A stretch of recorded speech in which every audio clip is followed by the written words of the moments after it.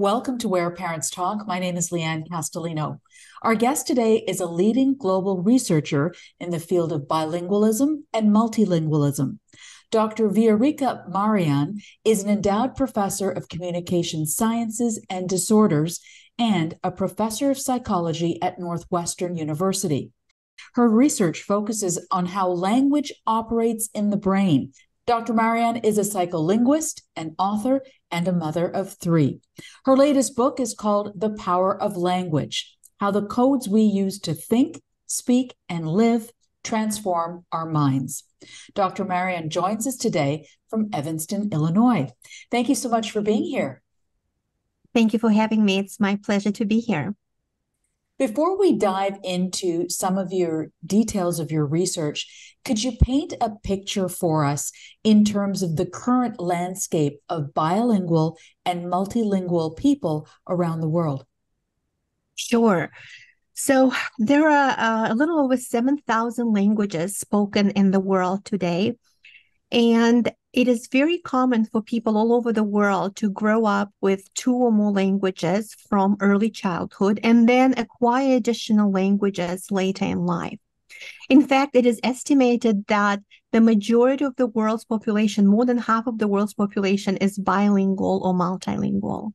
It is very common in uh, countries all over the world, in Europe, in Asia, in Africa, and South America, to grow up with more than one language. So uh, for uh, the world at large, bilingualism and multilingualism is the norm. In North America, um, Canada is largely a bilingual nation, and the United States, which has um, historically considered itself monolingual, the demographics here are changing as well. So currently, about um, uh, one out of five households, about 22% of households uh, speak a language other than English at home as a primary language. But the proportions vary with some states like uh, Arizona, Florida, New Mexico, California, for example. Um, the proportion of bilinguals and multilinguals uh, is even higher and uh, it's rapidly growing due in part to differences in birth rates as well as immigration. The number of uh, people of, who speak two or more languages in the united states is changing as well. So um, this is uh, really uh, an introduction to the linguistic landscape in which we find ourselves today. On that note you've been studying this for over 25 years. Can you give us a sense of you know the core area of your research and of your study Sure. So I uh, am interested in how speaking two or more languages changes our brain, changes our health, changes our cognitive processes, changes our development, our interactions with others, our self identity.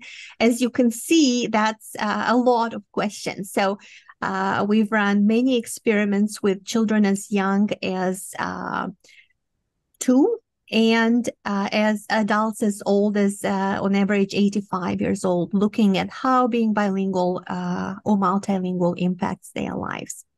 And we are finding that the languages we speak have a profound influence on everything we do um, and on who we are. So they really shape our lives. They shape how we perceive the world, world how we interact with the world uh, in significant ways. What are some of the basic findings of your research that you believe parents might be surprised to learn about?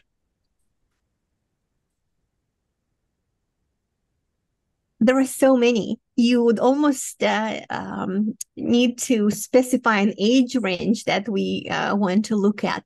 But I think I'd start. I'll start by saying that there is a lot of misinformation out there about raising bilingual children. Um, one of the biggest uh, misunderstandings is that um, raising so often parents are told that that raising children with more than one language will confuse them, will lead to language uh, delays or language disorders or cognitive problems. And uh, there is absolutely no evidence for that. So, um, raising children with two or more languages will not confuse them. There is no evidence that being bilingual or multilingual is detrimental to one's cognitive development. And some of the biases that uh, uh, that surround this come from uh, older research uh, where research with children who spoke two or more languages had other confounding variables. So, for example, if you look at some of that research was done on migrant children, on uh, um, people who didn't have a lot of education, who were living in a social um, and economical conditions that were uh, lower. So, if you look at those populations, you can see differences. But when you look at uh, individuals, for example, in Canada and Europe, you don't see differences between bilingual and monolingual children.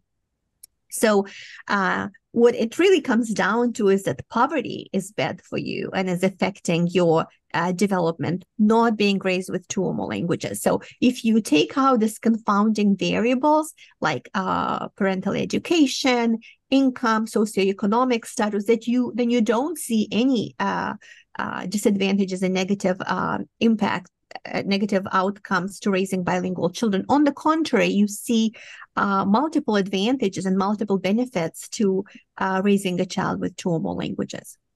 So let's talk about some of those benefits because the fact is, in many households, parents may speak one language. Their kids might be the translators for their parents, and then the children go to school and they're learning a second language maybe their primary language uh, in many households. So, can you take us through some of the benefits of bilingualism or multilingualism? Yes, I can. But before I uh, answer that question, I do want to mention that the scenario that you described, where children serve as brokers, language brokers for uh, parents and family members, is actually not ideal for these children and places them often in in uh, in a difficult situation and challenges the traditional family roles that parents and children should have. So um, I think it's important to remind parents of the challenges that putting a child in this role of interpreter, caregiver, language broker um, puts the child in, and the many negative uh, consequences that that can have for family dynamics, for children's development, and for parents' well-being as well. That is not an ideal situation. And unfortunately, that's a situation that many immigrant parents often find themselves in. But to the extent possible, I'd like to encourage uh, these family members, these uh, adults, to uh, prioritize taking language lessons, uh, becoming fluent in the language of the country in which they live, uh, becoming as much as possible self-sufficient and, and independent so as to not lead to this role reversal and um, have to take their children out of school in order for them to translate at appointments um, and just really make sure that the children get a chance to still be a kid. Um, that's that's sometimes lost in this uh, immigrant family dynamic.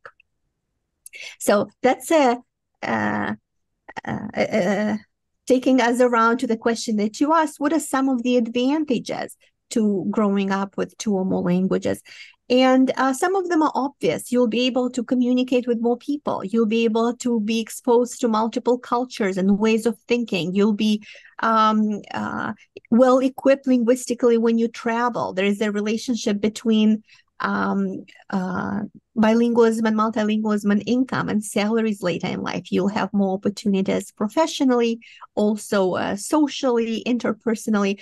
But there are also some um, uh, other benefits, uh, including some um, some advantages to uh, cognitive development. For example, um, metalinguistic awareness kicks in early in bilingual children. What I, what I mean by that, it's this ability to reason about language in an abstract way. So, for example, a bilingual child understands earlier that um, the word that you may have for an item, like this pen, for example, you can call it a pen or you can call it um, stilo or you can call it uh, ruchka. It doesn't change what this item is. Children understand earlier that the name and the object are not one and the same. They're two separate things. And this is a pretty um, advanced metalinguistic uh, skill, knowing that the world we have around us and the labels we use to label the world are not one and the same. That you can label something, whatever it is you want to label it, and it doesn't change the object. Monolingual kids acquire that ability a little bit later in life. Uh, so that's, for example, one um, one instance in which growing up with two languages can be beneficial. But the experience of living with two languages can translate to lifelong um, consequences, can have lifelong consequences. And one of the most remarkable ones is the fact that people who speak two or more languages um, experience some uh, afforded some protection against some of the cognitive declines that we see with aging, including a delay of um, clinical uh, symptoms of Alzheimer's and other types of dementia on the range of four to six years, depending on the study and the population.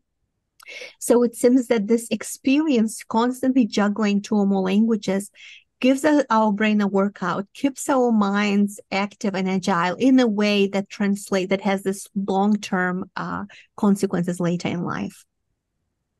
So, understanding the research and the science as you do, what would you say to parents who maybe want to, uh, you know, bring up a bilingual or multilingual child in terms of what that language instruction could optimally look like in the home and at school, and what age should that start at? I'll start with the second question. What age? Um, the sooner the better. The earlier the better. Uh, I would suggest uh, starting with both languages, especially if you speak more than one language in the home, as, a, as, your parents, grandparents, family, community from birth, right away from the beginning. Exposing your child to a rich linguistic environment is beneficial. The richer the environment, linguistic, visual, tactile, olfactory, the richer the environment, the better for the brain, the better for development. So right away from birth uh, raising children with more than one language is is wonderful. But it's never too late. If your child is already you know a toddler preschool elementary school middle school or you yourself as an adult it's never too late to start learning another language. So what i usually tell parents is the best best time is from birth and the second best time is now. Uh, so that's as far as the age question. Um, and then how to raise bilingual children. You'll be uh, happy to know that there is no one way. There are many paths to bilingualism. There are many paths to successful, fluent, and happy bilingualism. And it really depends on your child's personality, on your family dynamic and structure. The approach that is most successful is the approach that works best for your family. And in some families, this may look uh, like having the parents speak uh, one language in the home and then the child experience another language outside the home. Or having one parent speak one language and another parent speak another language. Or having the extended family members the grandparents only speak the other language. Or if it's an entirely monolingual family um, putting the child in a child care where another language is spoken. Or hiring a, a, a caregiver in the home who speaks another language or sending the child to uh, signing them up for uh, classes. Like maybe maybe your um, your church or your synagogue or your community has sunday classes. So any of these paths are, are good paths whatever will it's just like anything else like health habits like investing like um, weight you know whatever's going to uh, be something that you can stick with long term that's what's going to be most successful. Um, right now, there are a lot of uh, ways to learn another language using apps and games, which a lot of kids enjoy because it really capitalizes on our brains um, reward centers. So every time you get a word right, you you know hear a sound, you see an image, or serotonin um, you know your brain is firing up so it can be rewarding to uh, learn another language that way as well and you can actually combine all of these things. So you can use an app to learn a language, you can have language lessons, and then you can maybe take a family vacation to the culture or the country where that language is spoken. Now, you don't have to take a family vacation to another country. There are many neighborhoods in cities that have restaurants, festival events, communities um, that are really diverse. There could be, you know, a little um, community where you can attend performances and and interact with people who speak that language. Uh, so you don't need a lot of money to learn another language. You could even trade language lessons with uh, a person who wants to uh, learn the language. Maybe an immigrant uh, family who um, came to this country and they speak a language you're interested in and you mutually teach each other the other language um, there are so many ways to become bilingual and to raise bilingual children. I think where there is a will, there is a way. And if you understand the benefits and the um, just the enrichment that knowing two or more languages can bring to your life, um, uh, and and the joy and the richness of experiences um, that you don't have really access to when you don't speak those languages. And once you uh, decide that you'd like to add that to your life there are so many ways to do it. Um, and and i would suggest finding the ways that bring you joy and and then it'll be, become a pleasant enjoyable experience as opposed to oh my god yet another thing on my to-do list now, very interestingly, you are a product of the very research that you conduct. Having um, grown up in a, a, multilingual environment, you're able to speak at least three languages that I'm aware of, and maybe even more.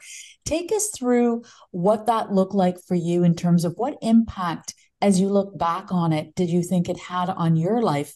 And then with your kids as a mother, how do you go about uh, fostering that uh, language acquisition and embracing languages to them? Uh, sure. So I grew up in Europe. Uh, I grew up in Eastern Europe, and my husband grew up in Western Europe.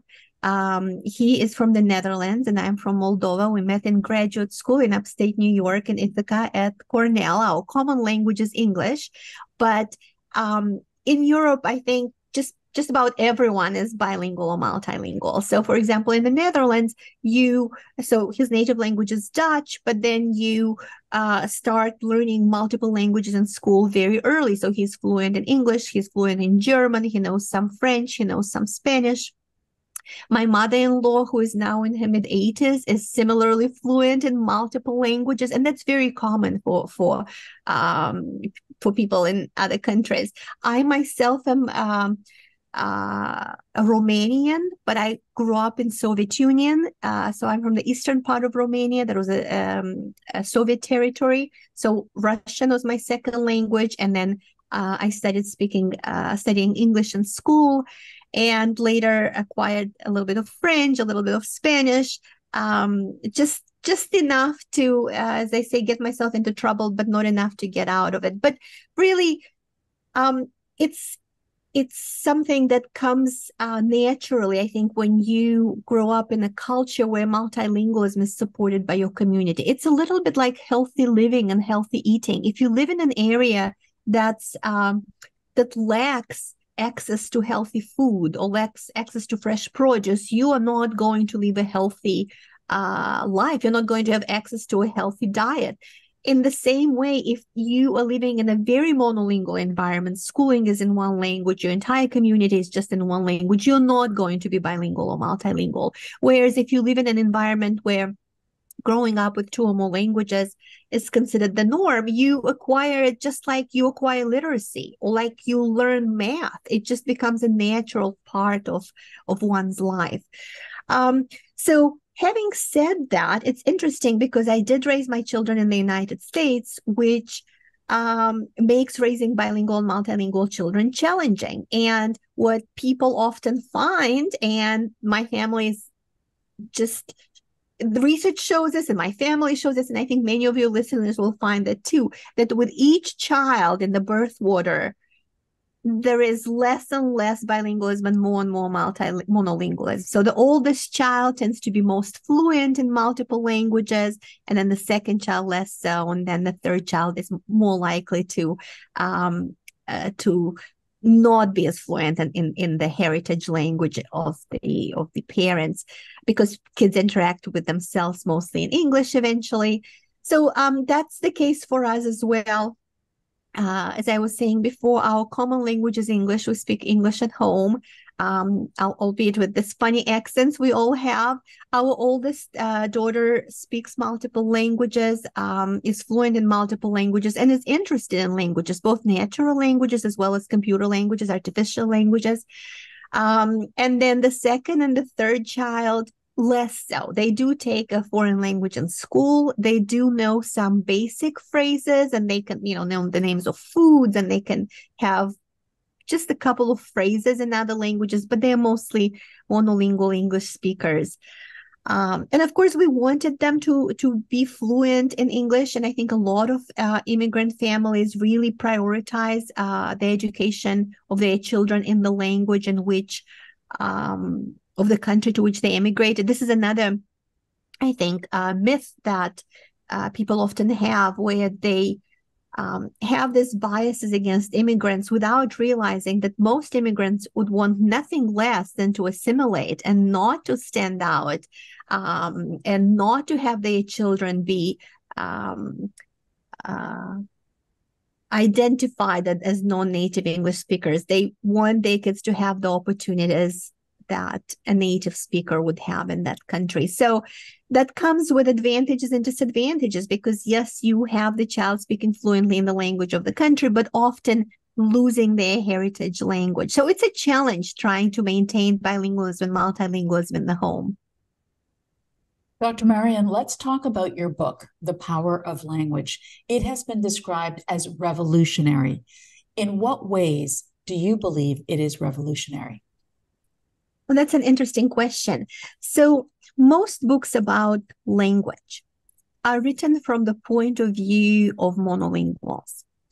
They are written about, if you think about language and mind, if you're thinking about how language develops, language acquisition, language development, most books out there are from the perspective of a monolingual uh, community.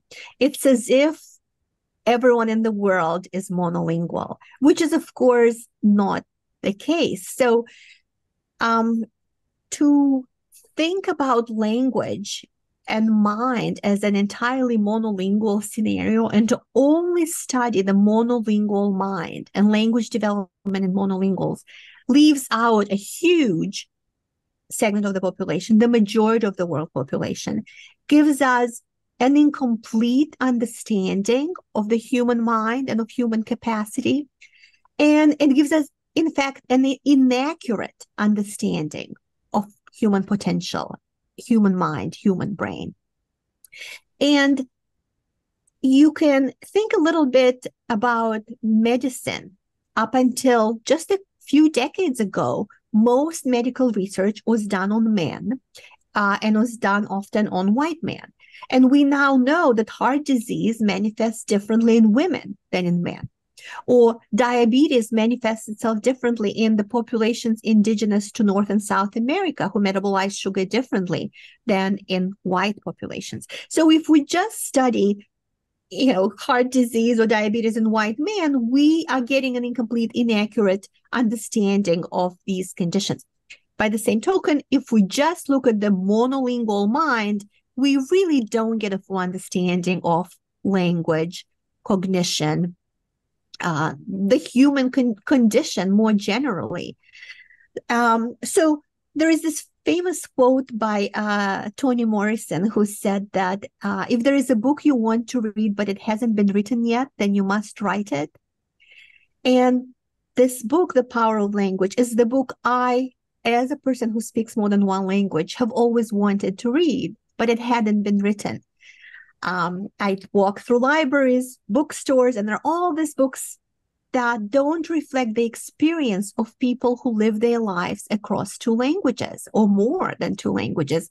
Uh, I live my life in more than one language, and I wanted to bring this knowledge about how language and mind interact and speakers of more than one language to a general audience outside the lab, outside scientific papers, um, for people who can find their find themselves reflected in the pages of this book, find their experiences reflected, what it's what it's like to be bilingual, how does it change us, and for people who are not bilingual or multilingual to get a better understanding of this ability that our brains have to accommodate and juggle multiple languages simultaneously. Let's dig into that a little bit. How would you go about summarizing or encapsulating how the brain processes multiple languages in layman's terms? I will start by saying that your brain never completely turns off the other language. That is another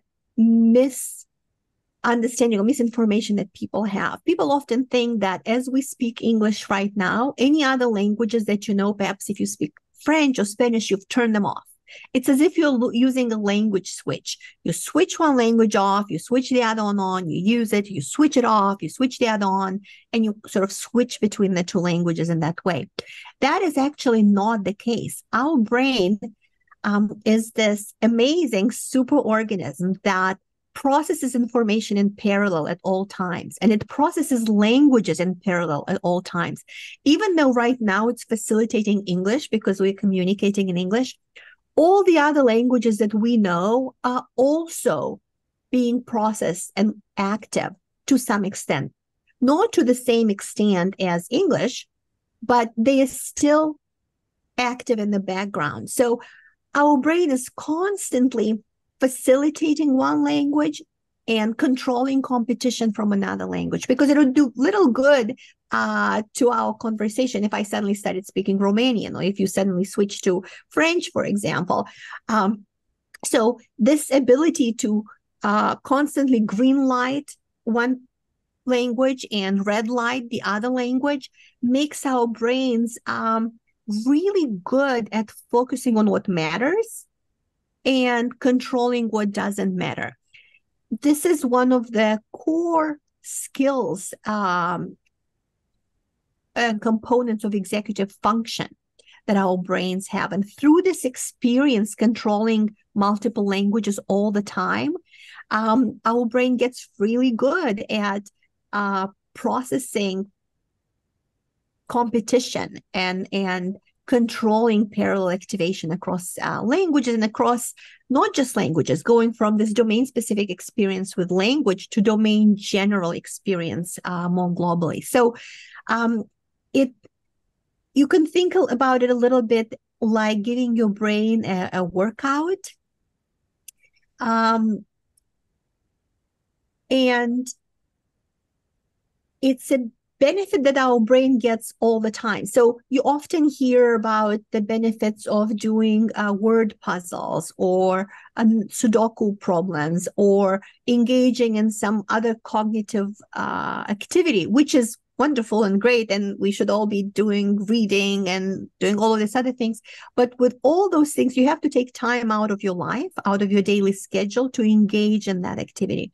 Whereas with bilingualism and multilingualism, simply be, by knowing two languages your brain is constantly controlling them. And and and and is you get this benefit simply by choosing which language you are going to talk to a person versus not. So it's uh um it's it impacts our brain continuously. We live more than ever in a very global world, regardless of the city, the country, the village that we are in what can you say to a parent in terms of any other strategies that they could use to support their children to learn another language?